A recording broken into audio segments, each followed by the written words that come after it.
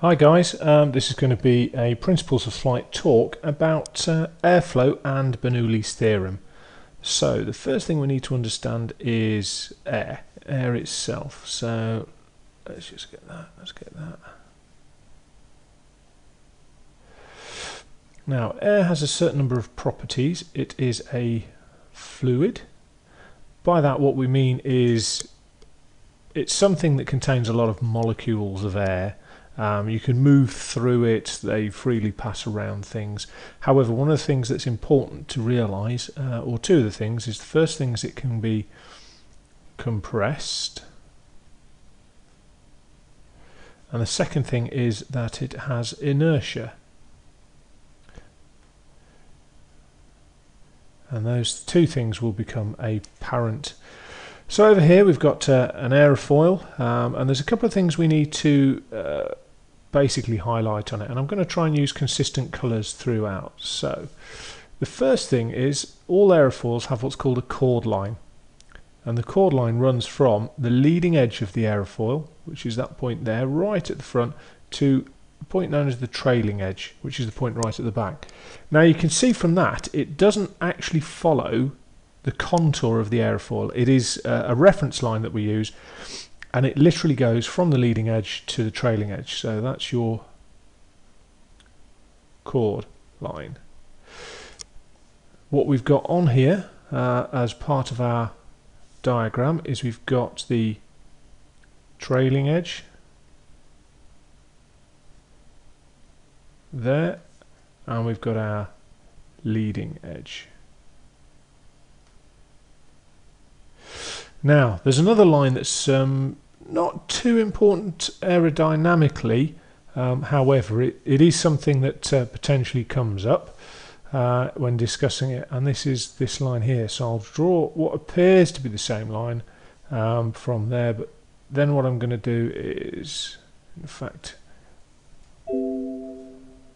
let's get rid of that.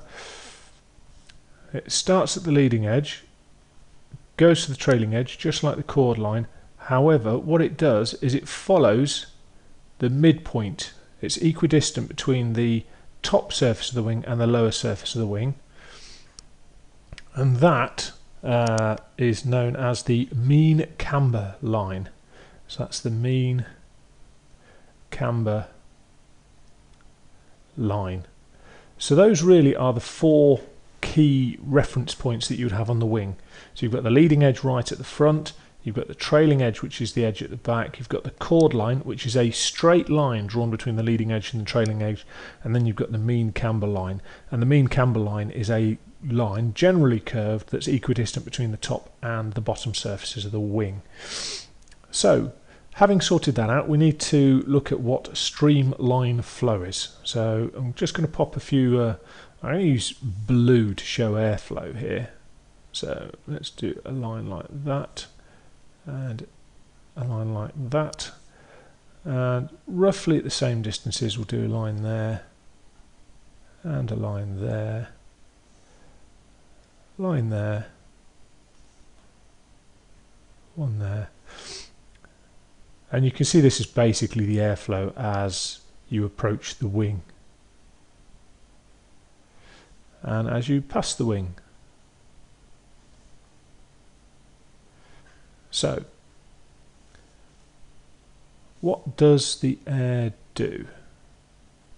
So the air is flowing in that direction and really we can say that the wing is moving in that direction. So we're flying forwards, remember leading edge, trailing edge, and the air is flowing past us in fact what I'll just have to do is I'll have to just get rid of that and redraw that to give me a little bit more room. Okay so there we go. Now what happens to the air? Well the first key thing to note is this bit here. This bit the air can fly uh, or the air can pass uh, neither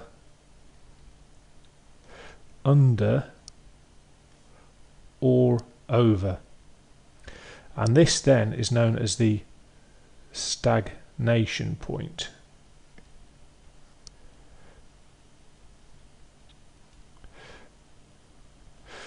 And literally it's where the air's hitting the front of the wing and uh, the wing can't do anything about it. The wing can't uh, move the air up or down. It literally just hits it. So the next bit, as we go above the wing, this flow of air here has to go round the wing, has to follow the wing. There's not a lot it can do other than follow the wing. So it goes something like that.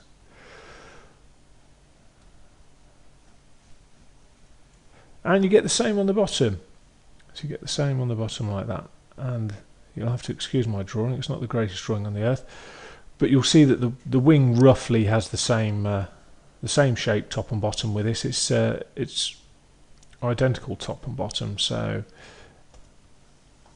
the next thing to note is that as we go higher or lower this airflow, well it can't go in a straight line, so it has to dodge the wing as well, and it goes something like that. And then we get the same thing underneath. So this airflow, it can't go in a straight line because there's something pushing it out of the way, the other airflow, and it does that. Then we do have a couple of final bits of airflow. There's one generally like that, and the final one will go something like that. I won't draw it there because I need that uh, circle in a moment. This, oh, let's get rid of that. This one is known as the free stream airflow. And basically this is air that's passing the wing but is not being influenced by the wing. Now this bit here where the lines are getting closer together, so quite far apart here, but they're getting closer together here is quite important for us. This circle I'm going to use to demonstrate uh, the principle of drag. So, we have got our aircraft flying through the air, and it's a horrible shape. It's an absolutely awful shape. So, here's our airflow coming straight at it. Like that. Now, the next thing is this airflow, you've got your stagnation point here as normal. That air can't get past, it just basically gets compressed against the leading edge. You've got this airflow here and this one here. Now, the air obviously wants to flow round this curve and uh, it tries its best, bless it, but it's not it's not going to have a good day. And the reason it's not going to have a good day is because it cannot easily get back to this area. So our air gets stuck trying to get back to this area. I'll just put a corresponding line on the top surface as well so you can see a complete picture. There we go and then finally we'll do one last line. I know it hasn't got a a partner on the left so to speak but you get the idea. So and let's just mark these up. So this is our airflow. Now as you're fairly close to the center you're struggling to get back to this point here Further out, you can just about manage it. So as you get round here, you can just about manage to get back. But what then happens is the air here can't get back. So it can't get back. So it, it's all over the place and it becomes what's known as turbulent airflow. So that is turbulent airflow. Okay, so we've now got a situation where we've explained the general uh, or the, the key terms in terms of describing your airfoil. We've got the key terms in terms of free stream airflow, i.e. the air that passes undisturbed, uh, passes the aircraft uh, be it the aerofoil or the fuselage undisturbed. Um, and then we've described the stagnation point and uh, in effect looked at what happens in terms of the behaviour of the air.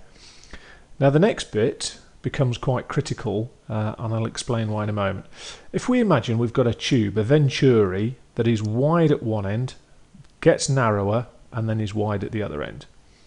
So our air is trying to get in and it's trying to pass through. It wants to pass through. So that's our air in the middle.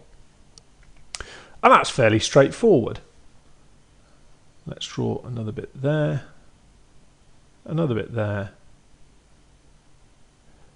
another bit there,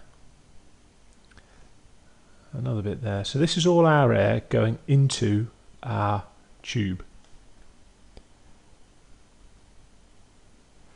And at the end of the day, what we need to have is the same amount of air coming out the other end.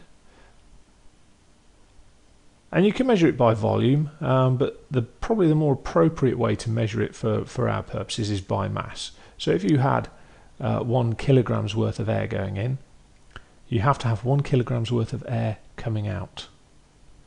Right. So there we've got our airflow going in and the same quantity of airflow coming out. Now, what happens with our airflow? Well, it's squeezing in and as you can see it's got to go through a narrower point. So it squeezes in there. Oh can never get used to this drawing tool. So it wants to get from there to there and it has to squeeze through the narrow gap.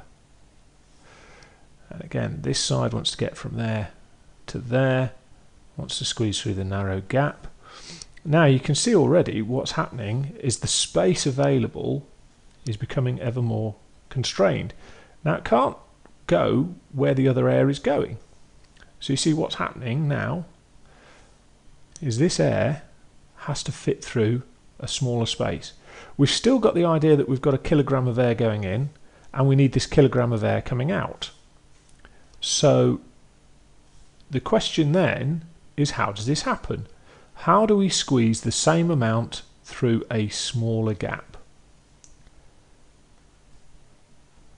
And that is the key of Bernoulli's theorem. Uh, it's quite clever really. So let's let's just draw, if you like, an extreme one at the very edges. So here's our air going in, here's our air coming out. And let's just show just how dramatic this can be.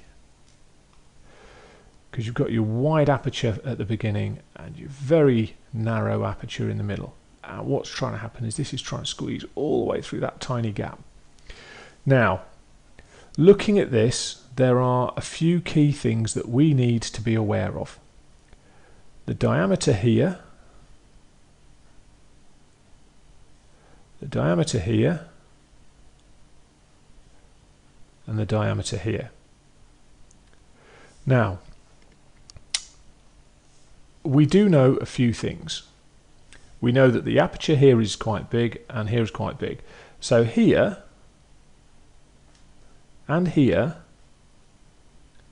we've got our normal speed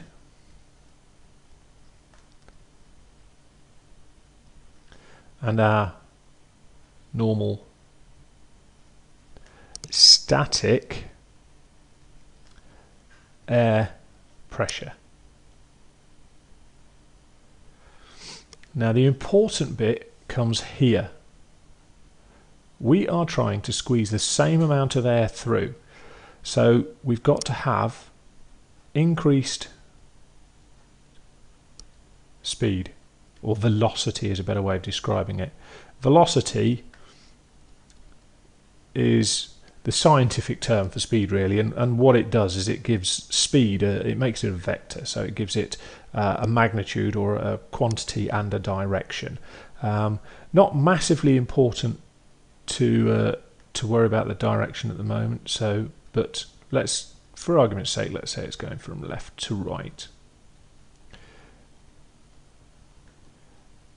Okay so we've got an increase in velocity. Now I'm no scientist, but what I do know from having uh, read around the subject and read the books is the increase in velocity leads to a lower static pressure.